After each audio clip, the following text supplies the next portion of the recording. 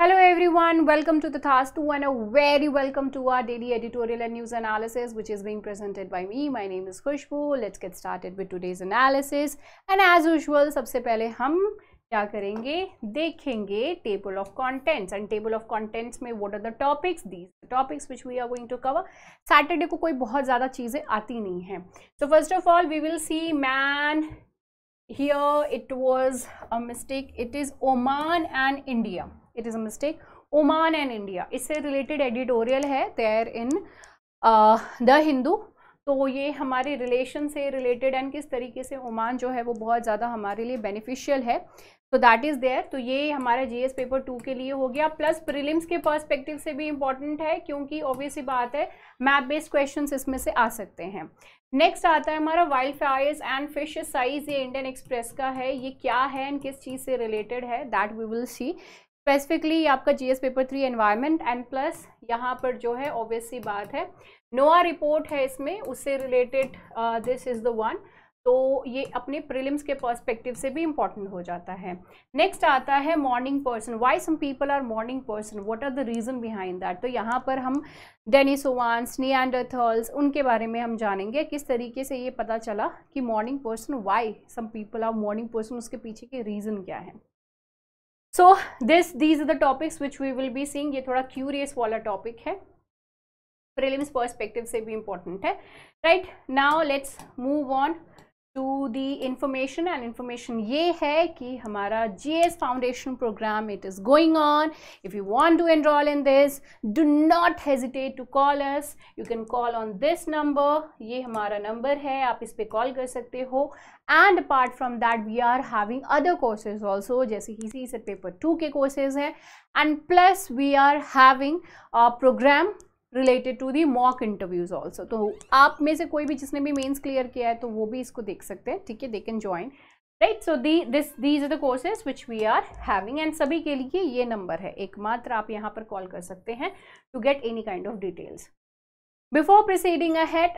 information आज है विजय दिवस। ये विजय दिवस जो है वो किस चीज़ से रिलेटेड है? तो विजय दिवस ये जो रिलेटेड है, ये 1971 का जो वॉर हुआ था it is related to that and आज ही के दिन बांग्ला, ये जो लिबरेशन वॉर बेसिकली इस चीज़ को कहा जाता है। 1971 का जो वॉर हुआ था, उसको लिबरेशन लिबरेशन वॉर के तौर पे भी माना जाता है। Because the east see after partition India जो है, वो बेसिकली तीन पार्ट्स में डिवाइड कर दिया था ब्रिटिशर्स ने। India, east Pakistan and west Pakistan. Okay तो बांग्लादेश जो है वो east Pakistan. And east Pakistan is they wanted to get liberated they didn't want to be the part of Pakistan. इसके पीछे बहुत सारे रीजंस थे। अब जैसे कि आपको हिस्टोरिकल एस्पेक्ट अगर मैं दूँ तो इसके पीछे के जो रीजंस थे, उसमें से एक बहुत बड़ा जो इनका रीज़न था that was related to language इनकी भाषा। अब ये जो ईस्ट पाकिस्तान, जो आज के डेट में बांग्लादेश है ठीक है? They they they were specifically Urdu majorly Urdu speaking people okay अब वही सॉरी उर्दू नहीं they were majorly Bengali speaking people okay Bengali speaking people and वहीं पे ही अगर आप वेस्ट पाकिस्तान की बात करो तो वहाँ पे मेजोरली जो है, ये उर्दू बोला करते थे. राइट अपार्ट फ्रॉम अब अब इसमें क्या चीज़ होता था कि ये क्या करेंगे? वेस्ट पाकिस्तान, जो कि आज के डेट में पाकिस्तान है और आज का डेट जो आज के डेट में जो हमारा बांग्लादेश है। तो इसमें क्या होता था कि these people the west Pakistan is they use to impose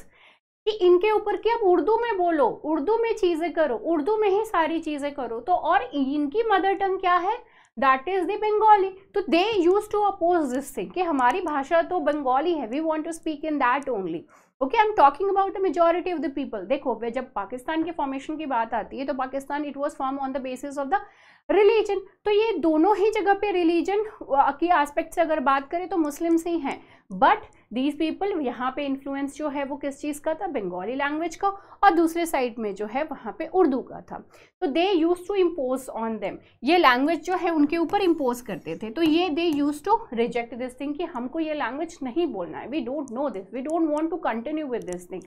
mother tongue के साथ एक आपका अपना बहुत ही अलग और डिफरेंट टाइप का जुड़ाव होता है। You don't want to let it go okay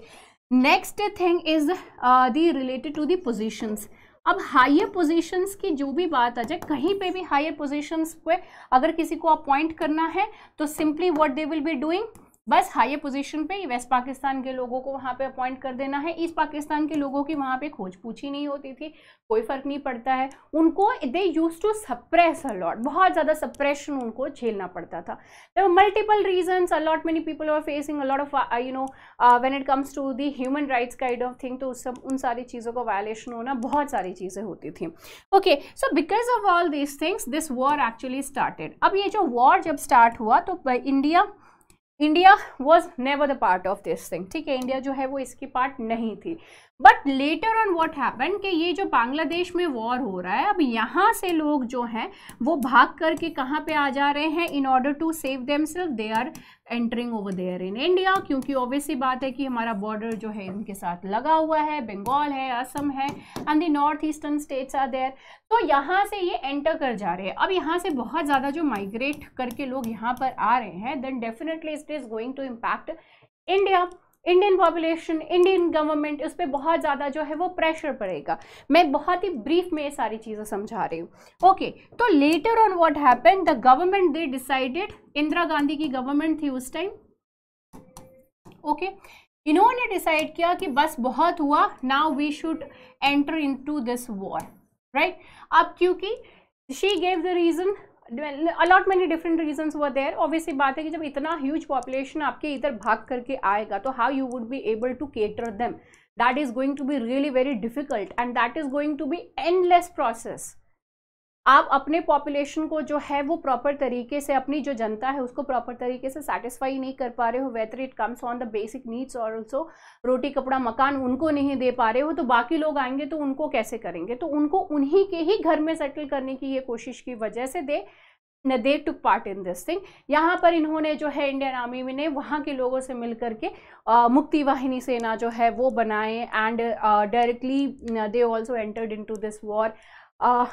Manekshaw हमारे पहले field marshal Manik Shaw Manik Shaw ji Sam Manik Shaw he was the one who who was there at that particular time and उन्होंने जो है यहाँ पर जो इस वॉर की कमांड संभाली एंड ऑब्वियसली बात है वी वन दिस एंड इसी को ही जो है लिबरेशन वॉर का आज जो है विजय दिवस के तौर पे इसको मनाया जाता है and this image is very very famous very very famous जिसमें कि पाकिस्तानी आर्मी जो है वो अपने आप को सरेंडर कर देती है। ओके एंड यहाँ पे काफ़ी हद तक जो है, एक माइंड गेम भी बहुत माइंड गेम भी जो है, वो भी यहाँ पर खेला गया था रिलेटेड टू माइंड गेम भी खेला गया था रिलेटेड टू दिस थिंग कि भाई रफली around three thousand army personnel जो है, वो इंडिया के थे। ठीक है? एंड वहीं पे ही नाइन्टी थाउज़ेंड प्लस जो आर्मी थी, वो पाकिस्तान की थी। उसके बाद भी माइंड गेम इस तरीके से बनाया गया, ऐसा प्रेशर बनाया गया कि भाई इंडिया के तो बहुत सारे लोग, बहुत सारे आर्मी पर्सनल्स हैं, वो हमारे पर अटैक कर देंगे तो we won't be able to survive over there तो ये जो एक हवा चला दिया गया था तो उसकी वजह से एक अलग ही मेंटल प्रेशर पड़ा तो वी इधर वी विल बी डाइंग और वी विल बी डाइंग यही ऑप्शन रह गया था तो in that under that pressure they surrender and later on they got to find they got to know this कि भाई ये तो बहुत ही कम लोग थे। तो war is not something which is just only fought on the war front वहीं पे ही जा करके या वहीं पे ही नहीं लड़ रहे होते, बहुत सारा बैक प्रोसेस भी चल रहा है, बहुत सारी चीज़ें वहाँ पे भी हो रही होती है। As you can compare over here when it comes to the Russia and Ukraine का फंडा भी अगर आप यहाँ पे देखो तो वहाँ पर भी यही चीज़ होती है हो रही होती है। जब ये वॉर स्टार्ट हुआ था तो everyone was like we support your Ukraine we support Ukraine ना what who is supporting Ukraine hardly anyone अब यहाँ पे जो यूएस है उन वो आ, इनका जो पूरा ध्यान है वो इसराइल पैलेस्तीन की। इसराइल हमास की जो वॉर है, वो वहाँ पर शिफ्ट हो गई है। They are completely devoted over there EU के बहुत सारे मेंबर्स जो हैं, वो अपना जो भी एक सपोर्ट प्रोवाइड कर रहे थे to the Ukraine they have actually cut off this thing that we are not going to support it now where is Ukraine इसीलिए कहते हैं कि एक्सपीरियंस देखो एक्सपीरियंस पर्सन जो है, वो बहुत मैटर करता है, बहुत ज़्यादा मैटर करता है। और इतने हाई पोजीशन पे किसी किसी जैसे कि प्रेसिडेंट प्राइम मिनिस्टर का पोजीशन है वो ऐसे ही किसी को नहीं दे देना चाहिए। That was really very that was really very bad decision on the part of the people of Ukraine and उसी चीज़ का भुगतान जो है इनको अभी भी करना पड़ रहा है। ओके okay, तो that is the point right so कि आपको वैसे भी अपने दम पे लड़ना है। That is the different thing so Vijay Diwas की आप सभी को हार्दिक शुभकामनाएँ। Now let's move on to the next topic and this next topic is related to the wildfires, fish uh, size, how hottest Arctic summer impacted region. तो ये है permafrost and all and here you can see the Arctic sea sheet is melting at an alarming rate and दुनिया का सबसे बड़ा जो ice sheet है that is the one which is actually moving also. Okay okay, तो यहाँ पर ये जो पूरा बात कर रहा है ये आर्टिकल में तो ये आर्टिकल में बेसिकली बात हो रही है नोवा जो कि एक स्टडी इन्होंने एक स्टडी करी थी US National Oceanic and Atmospheric Administration annual Arctic report आई है। तो इसी एनुअल आर्कटिक रिपोर्ट में ये बहुत सारी चीज़ें जो खुल करके सामने आई हैं that is really very dangerous and इस साल जो है 2023 वो काफ़ी one of the hottest year रहा है। तो ये रीज़न है जिसकी वजह से you must have seen that a lot many impacts on the world इस साल में आपने देखा ही है कि कितना भयानक वाइल्ड फायर हुआ था। right and apart from that here you can see the ices are ice are also melting now let's check out that what this article is all talking about तो यहाँ पे कह रहा है कि nearly four times faster than the earth has whole since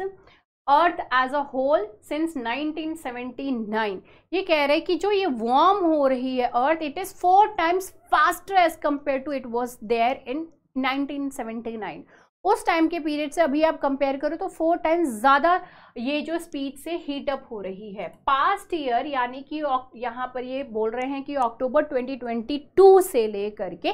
यहाँ पर सितंबर 2023 ये जो पूरा ईयर का इन्होंने आंकलन किया in this the past year was the six warmest full year in the Arctic since reliable record keeping began in 1900 1900 1900 में जो रिपोर्ट्स हैं वो उन्होंने वहाँ से जो है सारे रिपोर्ट्स को ये related to the this heating warming and global warming वो उन्होंने रिपोर्टिंग करना स्टार्ट किया था,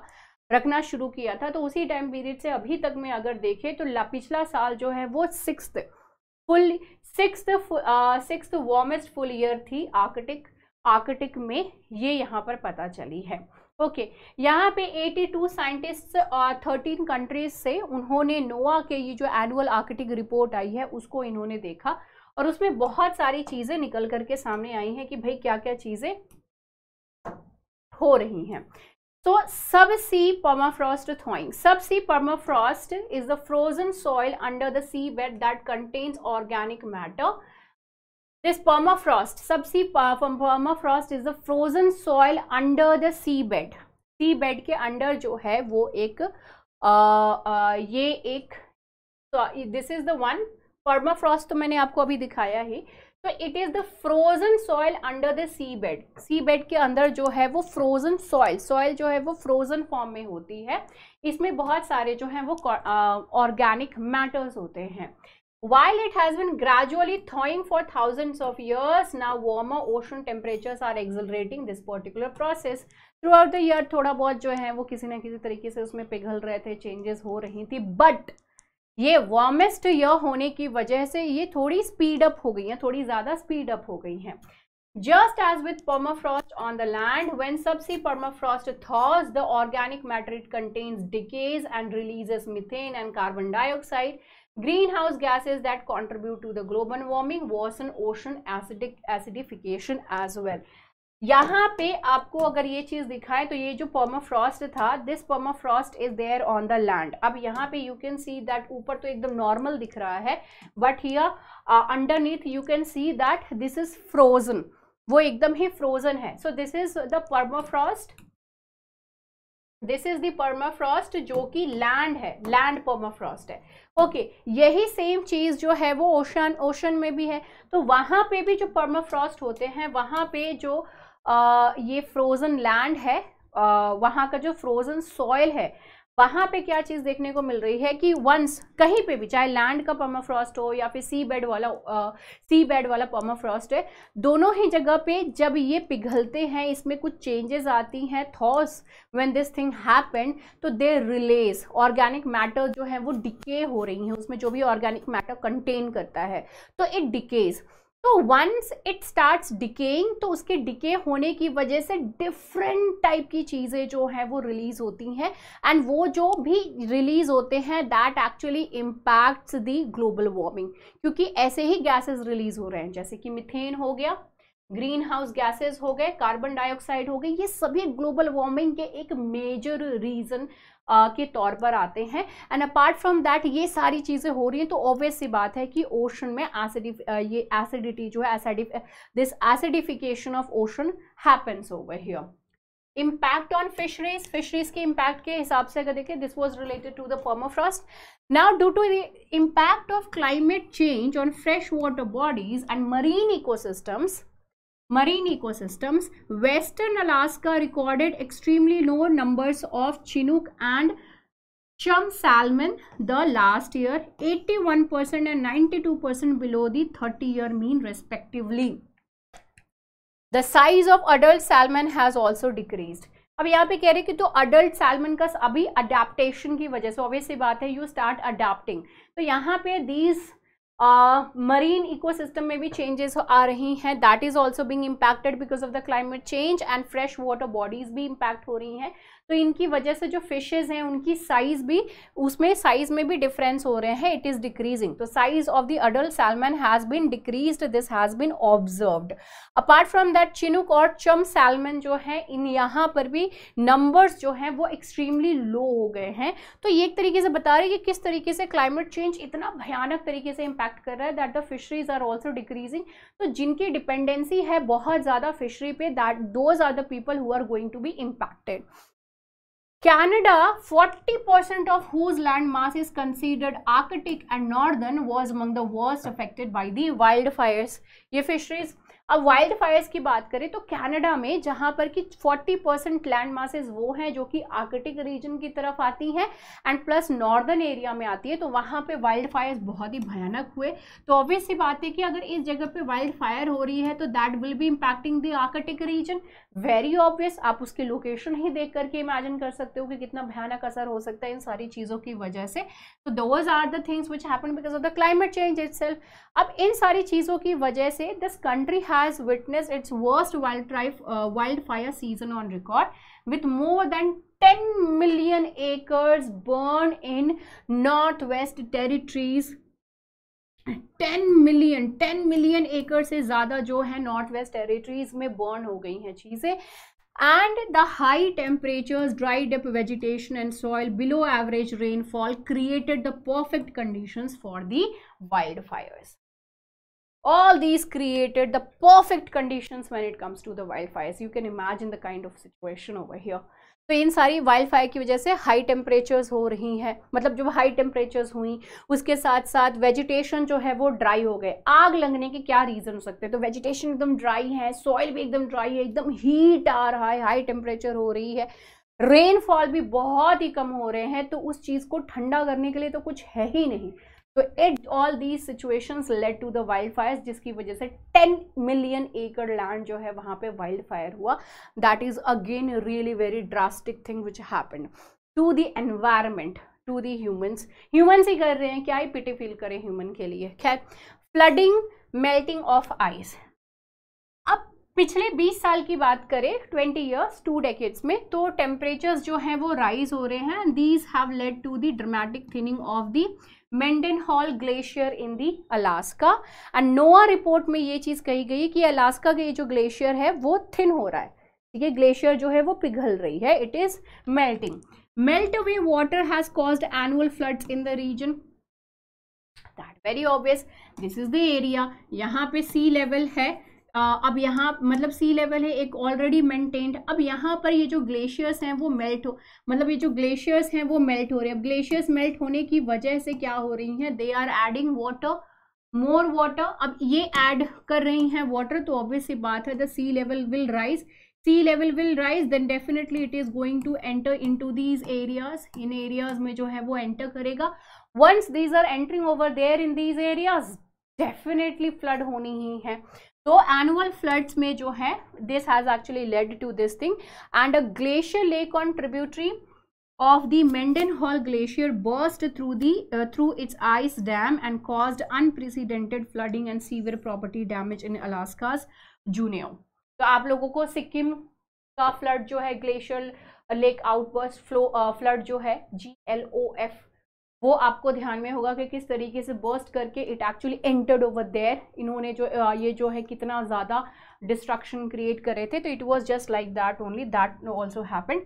and यहाँ पे इन्होंने कहा कि it must be noted that the highest point on Greenland ice sheet experienced melting for only the fifth time in the 34 year record. The ice sheet continued to lose mass despite despite above average winter snow accumulation between that of the between August 2022 and September 23, it lost roughly 350 trillion pounds of mass. 350 trillion pounds of mass जो है वहाँ पे reduction देखने के लिए मिला है तो trillion trillion it's really very huge number so we need to अभी ये जो सी होते हैं इतनी सारी मीटिंग्स होती है कभी कभी देख करके ये लगता है कि बस एक सिर्फ़ ड्रामे ही हो रहे हैं या फिर इसका कुछ इम्पैक्ट भी देखने के लिए जो है वो मिलेगा। खैर let's move on to the next topic. It is related to a time honored connect that will help uh, bridge the gulf. तो अभी जो है सुल्तान ओमान के सुल्तान हैतम बिन तारिक जो है वो इंडिया में आज ही विज़िट कर रहे हैं दिसंबर 16 तो he has visited over here in India तो प्रेसिडेंट मुर्मू जी एंड हमारे प्राइम मिनिस्टर दोनों ही गए थे इनको रिसीव करने के लिए which is obviously very much required क्योंकि अगर पूरे अरब वर्ल्ड की बात करें तो ओमान एक ऐसा हमारा दोस्त रहा है जो कि हमें इस आर्टिकल में ही ये सारी चीज़ें दी हुई हैं कि एक ऐसा दोस्त रहा है जो कि हमेशा से हमको बहुत ही ज़्यादा सपोर्टिंग नेचर में रहा है फ्रॉम मतलब always since no years. Even cold war time के टाइम uh, के पीरियड में भी जो अरब वर्ल्ड थी वो बहुत uh, सभी के ऑलमोस्ट सभी के सभी जो है वो पाकिस्तान को फेवर कर रहे थे. But when it comes to Oman they they were in support of India even during the cold war era also right so these are the kind of thing which have been talked about over here so this is the right time in order to say thank you to Oman तो यहाँ पे कुछ कुछ चीज़ों को mention करी गई है जिसमें से तो एक तो डिस्टेंस की अगर हम बात करें तो पूरे ये रीजन की अगर बात करें तो इसमें आ, ये जो है Oman one of the nearest आता है। Oman one of the nearest आता है। तो ये एक पॉइंट है तो यहाँ से इनके साथ बिज़नेस करना भी क्वाइट ईजी है। Apart from that it in this article they have talked about Gulf of Oman Persian Gulf and Gulf of Aden ठीक है? ये सभी का जो है यहाँ पे मेंशन किया गया है. This is the Arabian Sea right so this is the Arabian Sea Gulf of Oman Gulf of Persian sorry Persian Gulf and this is the Gulf of Aden ये सभी इसमें मेंशन करे गए हैं. तो मैं आपको ये पहले ही ये सारी चीज़ें बता दे रही हूँ. ओके चलो. So this is the Oman Oman का क्या है भाई कैपिटल बताइए ज़रा कमेंट सेक्शन में.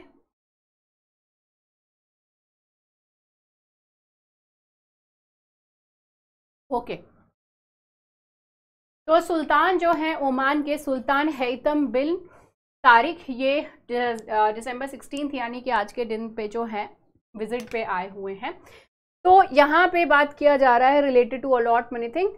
Oman जो है, वो क्लोजेस्ट नेबर है, अरेबियन गल्फ रीजन की अगर हम बात करें तो ये जो है, हमारा सबसे क्लोजेस्ट क्लोजेस्ट पार्ट है क्लोजेस्ट कंट्री uh, है when it comes to the Arabian Gulf region and Omani ports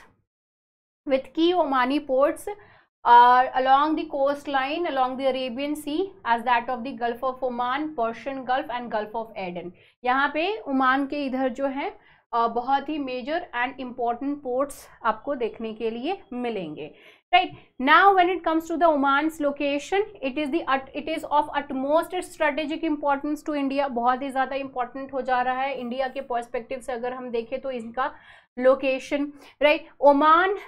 यहाँ पे along with saudi arabia and the united states arab uh, arab uh, Emirates, Oman completes the trio of key strategic partners of India in the Gulf region. Obviously बात है। अब यहाँ पे UAE है यहाँ पे सऊदी अरेबिया यहाँ पे ओमान है। तो ये हमारे इंपॉर्टेंट ट्रायो जो हैं वो बन जाते हैं इस पर्टिकुलर गल्फ रीजन में। ओके okay, अब जब रूलिंग फैमिली की बात आती है ओमान की they have always been there has always been really very strong connection of India with them बहुत ही अच्छा हमारा जो है उनके साथ रिलेशन रहा है। Sultan Qaboos was always favorably disposed towards India and invited Indian companies and professionals to undertake projects apart from sourcing supplies that from the India. अब यहाँ पे पीपल टू पीपल की कनेक्शन की अगर हम बात करें तो इंडिया का अच्छा खासा डायस्पोरा जो है वहाँ पर ओमान में आपको देखने के लिए मिलेगा right and we have really very huge number of people over there ऐसा कौन सा जगह है जहाँ पे इंडियंस आपको नहीं मिलेंगे तो seven lakh people almost seven lakh people मतलब इंडियन कम्युनिटी का एक जो स्ट्रेंथ है आपको वहाँ पर ओमान में ओमान में मिलेंगे। अब कोल्ड वॉर एरा जैसा कि मैंने आपको बताया कि कोल्ड वॉर एरा के टाइम में भी जब अरब अरब वर्ल्ड है, वो largely they were basically supporting they were not in support of India rather they were in support of Pakistan Oman was the one जो कि इंडिया के support में हमेशा से रहा है।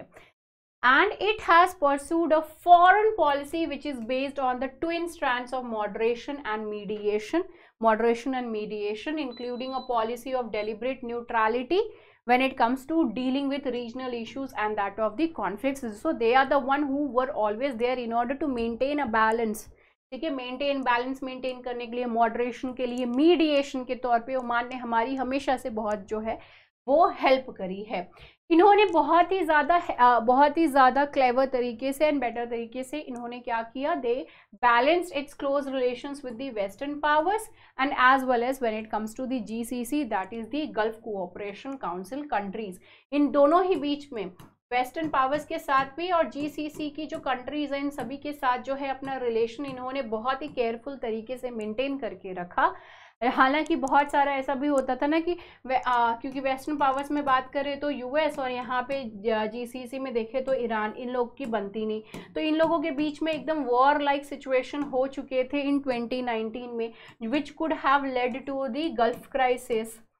किसी न किसी तरीके से जो गल्फ क्राइसिस को it would have led to that thing तो इन्होंने यहाँ पर जो है कॉन्फ्लिक्ट को यू नो मीडिएशन करके मीडिएट करके इन्होंने जो टेंशन थी दे ट्राइड कि ये जितने भी मतलब इनके बीच में जो ये टेंशन्स हैं उसको डिफ्यूज़ किया जा सके। उसके उसको जो है डिफ्यूज़ किया जा सके। तो यहाँ पर ओमान के रोल को आप इग्नोर नहीं कर सकते। तो Oman plays really very important role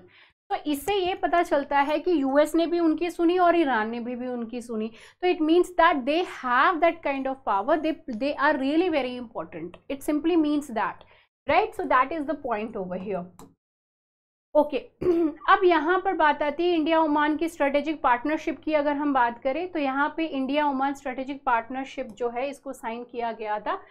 हमारे प्राइम मिनिस्टर मनमोहन सिंह जी के द्वारा 2008 में। ठीक है? एंड इसके दो पिलर्स हैं बेसिकली एक तो है म्यूचुअल ट्रस्ट और दूसरा है शेयर्ड इंटरेस्ट ओके, अब अब अब जैसे कि ओमान की अभी मैंने बताया, बात की किस तरीके से हमेशा से हमारे सोल, हमारे बहुत हमारे लिए बहुत ही ज़्यादा हेल्पफुल रहे हैं तो ऑब्वियस बात है कि म्यूचुअल ट्रस्ट वाली तो सीन है ही है। Oman was one of the few countries to have been invited by India to its G twenty presidency as a guest nation earlier this year तो हमारे इतने अच्छे रिलेशन हैं उनके साथ कि हमने उनको गेस्ट के तौर पे बुलाया था जी ट्वेंटी में। तो एक तरीके से गेस्ट के तौर पे आए, कल को मेंबर भी बन जाएँगे तो definitely India will be there in order to support them defence and security engagement भी एक बहुत ही की पॉइंट रही है हम लोगों के बीच में। एंड वहीं पे ही ओमान जो है वो पहला गल्फ कंट्री था, जहाँ पर कि विथ विथ जिनके साथ इंडिया के तीनों ही विंग ने एक्सरसाइजेस करी हुई हैं। ज्वाइंट एक्सरसाइजेस करी हुई हैं। डिफेंस इंडिया के तीनों ही फोर्सेस के साथ ये हो रखा है। ओमान और उसके अलावा 2012 से 2013 के बीच में इंडिया की जो नेवल शिप है इंडिया की जो नेवल शिप है, वो गल्फ ऑफ़ ओमान में they they are there in the Gulf of Oman Gulf of Oman on their duty और एंड ये किस चीज़ को लेकर के पायरेट्स जो रहते एंटी पायरेसी ऑपरेशन को चलाने के लिए they have been there since 2012 2013 जो है, उसी टाइम से they have been there and apart from that Oman ने इंडिया को अपनी तरफ़ से एकदम ही फ्रीडम दिया हुआ है that if their military planes military flights want to cross from that port their air उनका जो एयर है, उनका, ऊपर का जो आसमान है वहाँ से किसी भी कंट्री के ऊपर से कोई भी प्लेन जाने से पहले परमिशन लेती है राइट तो वो परमिशन मिलिट्री को मिली हुई रखी है कि Oman has allowed overflight और transit by Indian military aircraft to and apart from that in the recent years both countries have cooperated in ensuring maritime security in the Indian Ocean region maritime security की बात करें तो Indian ocean reason में जो है, इनका हमारे साथ जो हम लोगों ने कोऑपरेशन का एक तरीके से, जिस तरीके से एक दूसरे के साथ डील करना, क्या and all exercise and everything we have done वहीं पे अगर पर्शियन गल्फ क्राइसिस जो कि 2019 में हुई थी तो उस टाइम इंडियन नेवी ने ऑपरेशन संकल्प लॉन्च किया था वहाँ से इंडियंस जो हैं उनको सेफली निकालने के लिए। उसके बाद जो है एमओयू साइन हुई थी दुक्कम पोर्ट दुक्कम पोर्ट जो है uh, during Mr. Modi's visit is a historic landmark in our security cooperation, providing base uh, base in facilities. Operation turn around जो है ये इस चीज़ के लिए थी और उसके अलावा दूसरी logistic facilities also to Indian navy Indian naval ships operating in the region has been provided कि भाई उनको भी किसी तरह कोई दिक्कत नहीं रही। रहे ट्रेड एंड कॉमर्स की बात करें तो वहीं पे ही बायोलेट्रल ट्रेड 22 2022 टू में तो it has reach to 12.38 12.388 billion dollars and there are over 6,000 India Oman joint ventures in Oman with an estimated investment of seven point five billion dollars इतना जो है investment Oman India Oman joint ventures में देखें तो 7.5 billion dollars ये सभी data हैं, जो कि आपको मेंस में काफ़ी हद तक हेल्प करेंगे कि भाई इंडिया ओमान रिलेशनशिप जो है वो किस तरीके के हैं। Okay, apart from that India जो है, वो ओमान के लिए सेकेंड लार्जेस्ट मार्केट है, और ये किस चीज़ के लिए? That to related to the oil exports अब ये जो गल्फ रीजन है, ये जनरली सर्वाइव कर रहे हैं on the basis of their oil ठीक है? अब ऑयल की बात करें तो आप लोग को ये चीज़ ध्यान में होगी कि US has always been like कि ये ऑयल वो ऑयल कहीं ना कहीं से इंपोर्ट करते रहते हैं, ठीक है? ऐसा नहीं है कि यूएस के पास नहीं है। यूएस के पास बहुत सारे रिजर्व्स हैं but when it comes to as of now ये फ्यूचर का प्लान कर रहे हैं कि बाकी सब जगह से they are having this oil thing and later on जब उनके पास ख़त्म हो जाएगा तो they will be extracting their own तो एक बहुत ही लंबा प्लान लेकर के चल रहे हैं but still everyone knows this thing उसके बावजूद भी everyone is doing this kind of mistake तो चाइना इनका सबसे बड़ा मार्केट है when it comes to the crude oil later on आती है इंडिया अक्टूबर 2022 में इंडिया और ओमान ने जो है लॉन्च किया था रुपए डेबिट कार्ड इन ओमान जो कि हमारे लिए एक बहुत ही बड़ा आ, बहुत ही बड़ा एक सक्सेस आप मान सकते हो, वहाँ पर था that in Gulf region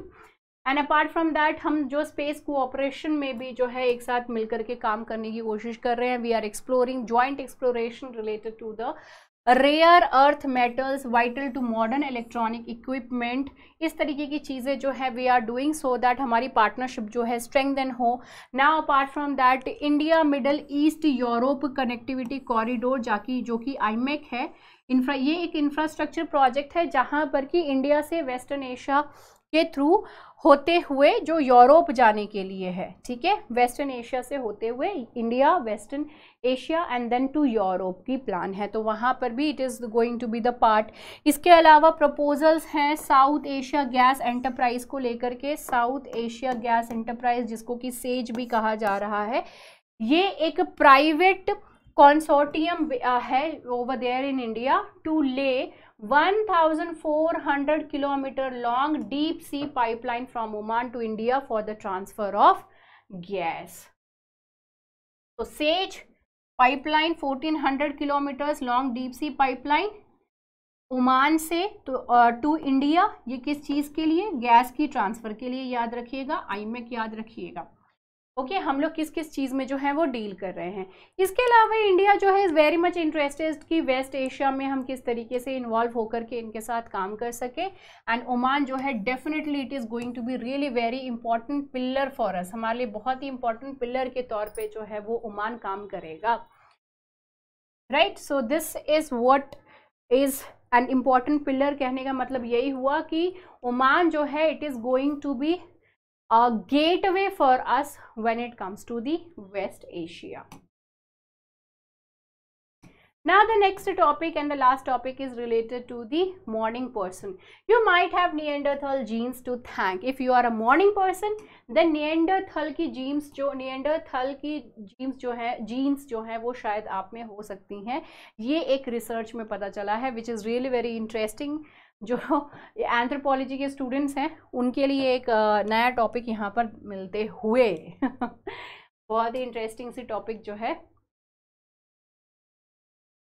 ठीक है, अब हम यहाँ पे देखते हैं नियंडरथल्स तो यहाँ पे ये चीज़ पता चली है कि भाई मॉर्निंग पर्सन होने के पीछे रीज़न ये हो सकता है कि नियंडरथल्स जो हैं वो मॉर्निंग पर्सन थे शायद, उनमें जो तरीके की चीज़ें हमको देखने के लिए मिली हैं। और उस टाइप के जिन जिन भी लोगों में देखने को मिला है दो ज़्यादा पीपल हुआ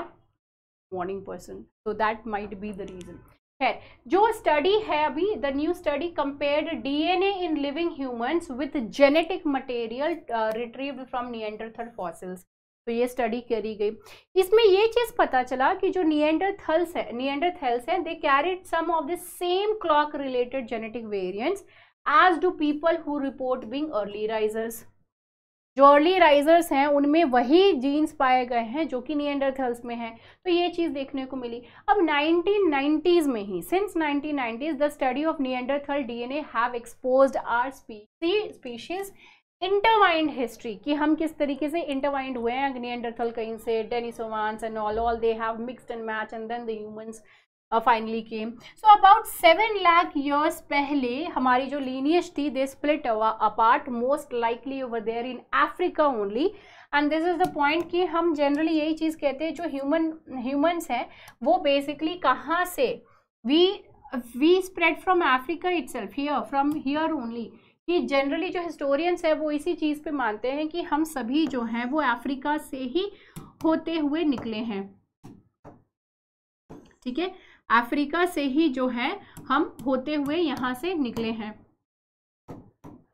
टू डिफरेंट रीजन्स यूरोप की बात कर लो इंडिया की बात कर लो एशिया यहाँ पे, दूसरी जगह पे। हाँ ये सभी जगहों पे और यहीं से ही होते हुए जो है, हम यहाँ पे भी देखने को मतलब we spread everywhere over the period of time but यहाँ पे सारे के सारे historians everyone agree on this point that कि सभी लोग जो है, वो अफ्रीका से ही होकर के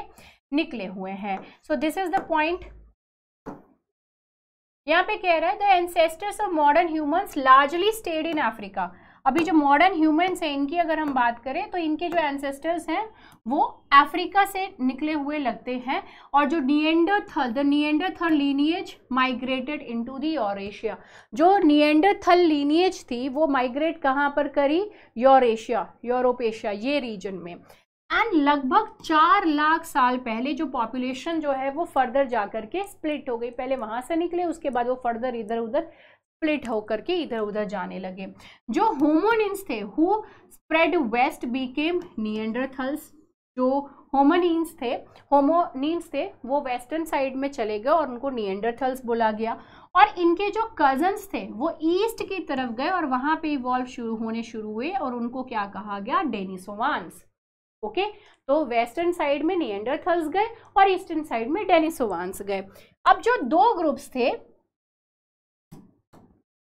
the two groups lived for hundreds of thousands of years अब ये hundreds of thousands of years में ये क्या कर रहे थे? हंटिंग कर रहे थे।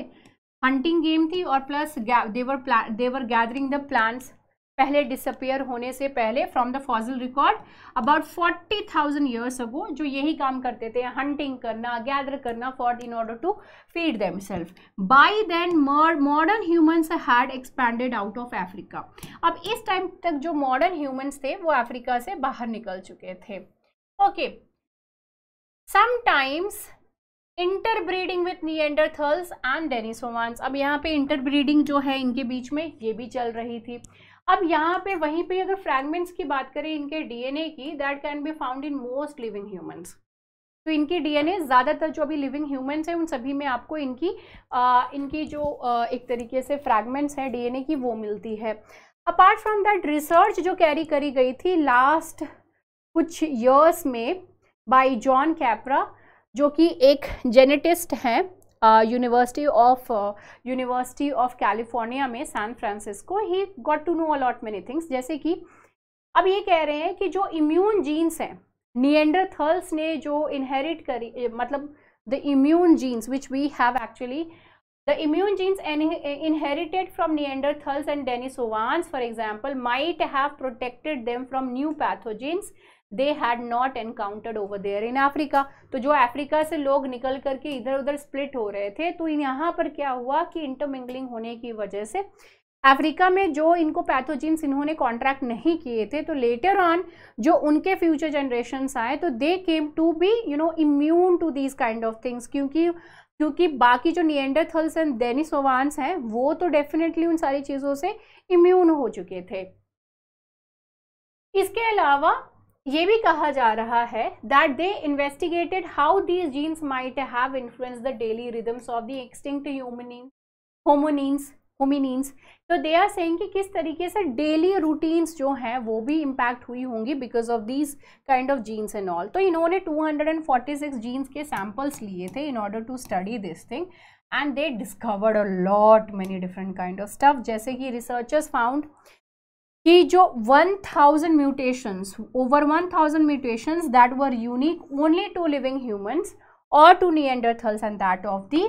Denisovans. Their analysis revealed that many of these mutations probably had important probably had important effects on how the body clock operated the researchers predicted मतलब उनकी body clock जो है किस तरीके से ऑपरेट करती है उन्होंने ये स्टडी किया कि किस तरीके से जो इनकी बॉडी क्लॉक इम्पैक्ट पड़ रही है। अपार्ट फ्रॉम दैट रिसर्चर्स ने ये भी प्रेडिक्ट किया कि कुछ ऐसी बॉड क्लॉक बॉडी क्लॉक प्रोटीन्स हैं that are abundant in our cells, were much scarer in the cells of the Neanderthals and that of the Denisovans. कि हमारे, हमारी, देखो, हर किसी की बॉडी क्लॉक होती है like you are sleeping and अभी लगेगा कि आपका एक टाइम सेट हो जाता है कि इतने टाइम पे उठ ही जाना है। कोई अलार्म की ज़रूरत नहीं है, किसी चीज़ की ज़रूरत नहीं है। You are just habituate to that thing तो वही बॉडी क्लॉक कह रहा है कि वो कुछ बॉडी क्लॉक प्रोटीन्स ऐसे मिले हैं जो कि हमारे सेल्स में तो हैं but that was not there in the Neanderthal and Denisovans scientist looked at the small number of body clock variants that some living people have inherited from the Neanderthals and that of the Denisovans अब यहाँ पे यही चीज़ पता चला कि जो body clock variants हैं increase the odds that volunteers were morning people कि अब यहाँ से पता चला कि जो एंशियंट बॉडी क्लॉक थी almost all the ancient body clock variants increased the odds that the volunteers were morning person the people who were the morning person they were the one who were belonged to the, those who were actually having more kind of impact from these people. तो वैसे बात है hunting and gathering की बात करें तो you have to wake up quite early and properly मतलब early wake up तो होना ही पड़ेगा otherwise you won't be able to have your food on time है ना? So this is how the people, they have, you know, moved and interbreeding हुई Neanderthals की modern human African जो हैं they modern humans they left from Africa move from one place to another place right तो यहाँ पे कुछ लोग जो है यूरोपियन साइड वेस्टर्न साइड में चले गए, कुछ जो चले गए ईस्टर्न साइड में चले गए right so these are the things related to this thing okay so I hope you people enjoyed it this was all about today's daily editorial and news analysis I hope you people enjoy do not forget to subscribe like and do write down the comment in the comment section also कि आपको कैसा लगता है। सकती हूँ। It's like you know एक energy booster जैसा होता है हमारे लिए। See you in the next video bye take care and have a great time good night जय हिंद